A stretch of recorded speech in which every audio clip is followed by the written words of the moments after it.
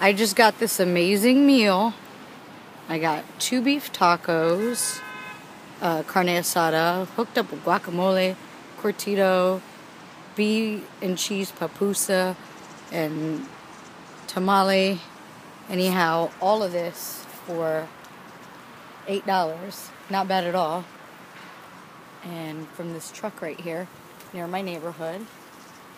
Shout out Langley Park, uh, Takoma Park. Been out here for a minute.